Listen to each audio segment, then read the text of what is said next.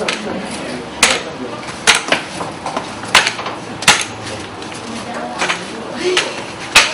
ကျိုင်းနှောင်းနဲ့လောက်ပါကဲကဲကဲကဲဒီလိုဒီတိုင်းထိုင်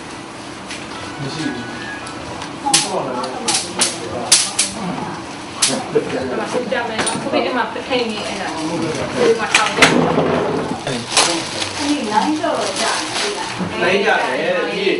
လိုက်ကြတယ်ဒီဒီနေ့တော့လောက်ပဲအဲ့တော့ဒီလောက်ပဲနဲ့မနေ့ညနေ6နာရီတယ်လီဗီရှင်းသတင်းမှာကျွန်တော်တို့စကြားရပါတယ်။ငင်းချင်းချမ်းသာခွင့်ပုံမှန်၄ရက်တည်းရရ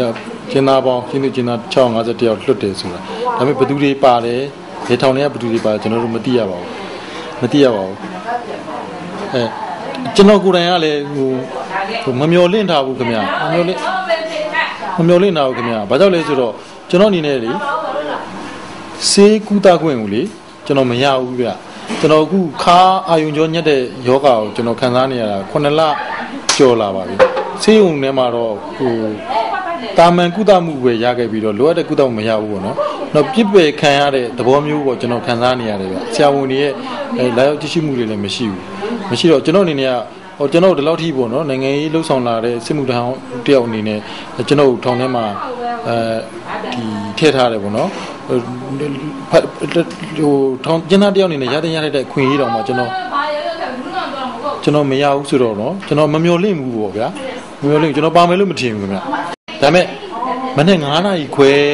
အဲတန်းဖွင့်တဲ့အချိန်ပေါ့လူလာတန်းစီစစ်တဲ့အချိန်မှာတော့အဲထောင်ဝန်ထမ်းတချို့ကလာပြီးတော့ပြောပါတယ် ကျွန်တော်နာမည်ပါတယ်ဆိုပြီးတော့ဘူးဘမှာရောက်နေပါပြီလို့ပြောပါတယ်ဒါလည်းကျွန်တော်အယုံကြည်မရှိသေးဘူးပေါ့နော်ကျွန်တော်အနေနဲ့ဒီအပြင်ထောင်ပြင်ကိုထွက်ခွင့်ရမှာရပါမလားဆိုပြီးမမျောလင့်သေးဘူးဘာကြောင့်လဲဆိုတော့ကျွန်တော်မှဟိုပုံမှန်42ဆိုတဲ့အချင်းထောင်အဲပုံမှန်42ဆိုတာနဲ့ကျွန်တော်နောက်မှုတမှုကျွန်တော်ဆွဲခံထားရတယ်ခင်ဗျဟိုဖြစ်မှုကလည်းဩဂုတ်လ23ရက်နေ့ကျွန်တော်ဒီကိမနိုင်ရိုးကျော်ဆေးရုံကိုထွက်ပြီးတော့အဲ MRI ရိုက်ပြီးတော့ ပြန်တဲ့ချိန်မှာကျွန်တော်ကကျွန်တော် BG လူငယ်တွေကပေါ့နော်ကျွန်တော်မိတ်ဆွေတင်ငယ်ချင်းတွေကလက်ဆောင်ပေးလိုက်တဲ့ဒီဘိုးကျောင်းအောင်ဆန်းကျွန်တော်အခုဝတ်ထားတဲ့ပုံပါပေါ့နော်အင်ဂျီလေးနှစ်ထဲရယ်ဒေါန်ဆန်းစုကြည်နဲ့ဘိုးချုပ်ပုံပါတဲ့တောจิตကလေး6ခုရယ်ကျွန်တော်အဲ့ဒါလေးယူပြီးတော့ဆေးရုံမှာကလေးကျွန်တော်ကထောင်ဝန်ထမ်းတွေကျွန်တော်ကခွင့်တောင်းတာပေါ့ဗျာဆေးရုံမှာအထွက်မှာကလေး ambulance ကားမှာကျွန်တော်ခွင့်တောင်းပါတယ်ဒီဟာလေးကျွန်တော်ယူသွားပါမယ်ခွင့်ပြုတယ်ဆိုရင်ယူမယ်ခွင့်ပြုကျွန်တော်မယူပါဘူးဆိုပြီးအဲ့ဒါသူတို့ဖုန်းတွေပဲနဲ့ချိတ်ချက်ပြီးတော့ဆက်လက်ပြီးရောဟို ဘူးကလည်းရောက်တော့ကျွန်တော်ဒီဒီအင်ဂျီတွေဒီတော့ချစ်တွေကိုသိမ်းပြီးတော့ကျွန်တော်အရေးယူပါတယ်ပုံမှန်42နဲ့ကျင်းတောင်တွင်းကိုတဲ့တရားမဝင်ပစ္စည်းသွင်းယူရန်ကျူးပန်းမှုဆိုပြီးတော့ကျွန်တော်ဆွဆွဲထားရှိပါတယ်အဲအခုကျွန်တော်9လကြာခဲ့ပြီပေါ့ဗျာအဲအဲ့တော့ကျွန်တော်လည်းမျိုးလင့်လာတာ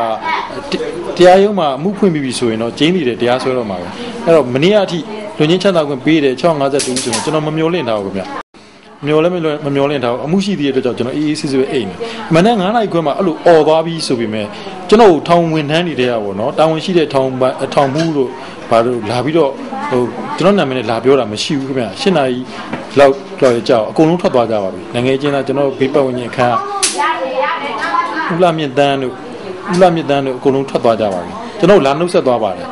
ဆက်တော့ကျွန်တော်7နိုင်လဲမလား9နိုင်လဲဘယ်လိုမှမ10နိုင်လဲမလားကျွန်တော်12နိုင်တနာရီလောက်ကြာမှကျွန်တော်ထင်ပါတယ်ကျွန်တော်လာပြီးတော့ထုတ်တယ်ဗျရဲကိုလွှဲရပါမယ်ဆိုပြီးလာထုတ်တော့ကျွန်တော်လွတ်တယ်လို့ထောင်ကထွက်ရမလို့လို့ကျွန်တော်မထင်သေးဘူးပေါ့နော်ရဲကိုလွှဲရမယ်ဆိုတော့အဲ့ဒါကျွန်တော်ဒီလက်တွန်းလဲလေးနဲ့ကျွန်တော် ဝမ်းနေစွာနဲ့ပေါ့နော်ကြံခဲ့တဲ့ညီကိုကျင်းသားလေးတွေကလက်တွန်းလဲနဲ့အုံအများကြီးပါပဲကျွန်တော်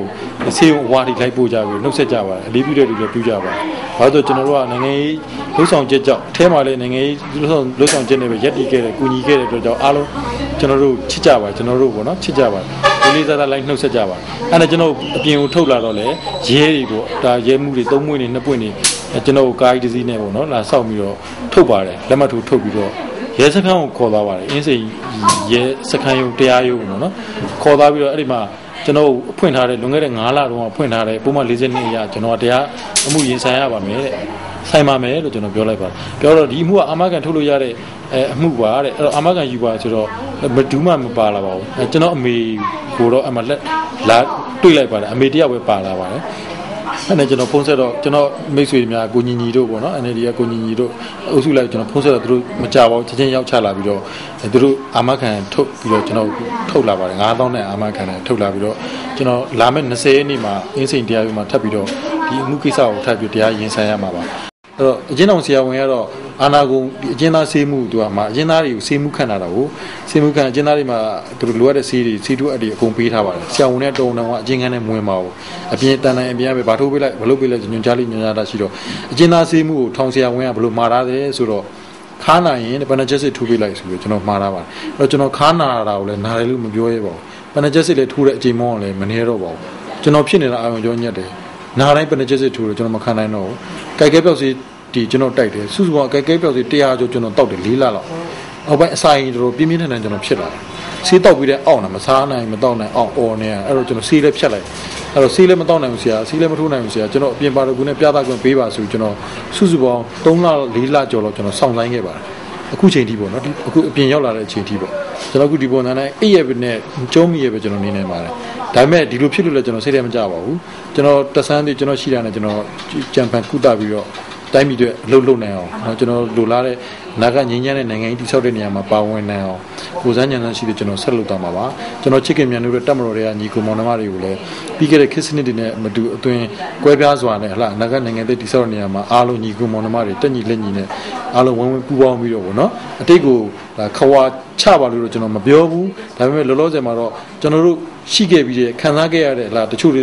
နာကျင်မှုတွေကြေကွဲမှုတွေဝမ်းနည်းမှုတွေဟလာ တန်တာမှုတွေစသဖြင့်ပေါ့နော်မုတ်တိတ်အောက်မေ့ပဲအတိတ်ကြီးရှိခဲ့တယ်ဆိုရင်ဒီအတိတ်တွေကိုကျွန်တော်တို့ရင်ထဲမှာပဲထားပြီးတော့ကျွန်တော်တို့ဖြစ်ခဲ့ရတဲ့ခါသီနာကြီးမုန်တီမှုအားလုံးကိုကျွန်တော်တို့လာမဲ့နောက်မျိုးဆက်သစ်နာကတ်ညီကိုမောင်နှမသားချင်းလေးများလက်ထက်ကြရင်ကျွန်တော်တို့ခံစားခဲ့ရတဲ့ဟလာခါသီနာကြီးမုန်တီစရာဖြစ်ရမျိုးဖြစ်စဉ်မျိုးတွေကျွန်တော်တို့နိုင်ငံလူမှုရန်ဝန်ဖြစ်စဉ်မှာမဖြစ်တော့အောင်ကာကွယ်နိုင်တဲ့စနစ်ဥပဒေပေါ်ပေါက်တဲ့အခြေအနေရောက်အောင်ကျွန်တော်အားလုံးခံစားခဲ့ရတဲ့ခါသီမုန်တီမှုကို အနာဂတ်ပြည်ပြင်ပြောင်းလဲခွန်အားဖြင့်ပြောင်းပြီးလုပ်ကြမယ်လို့ကျွန်တော်ခံယူပြီးတော့လွတ်လာပါတယ်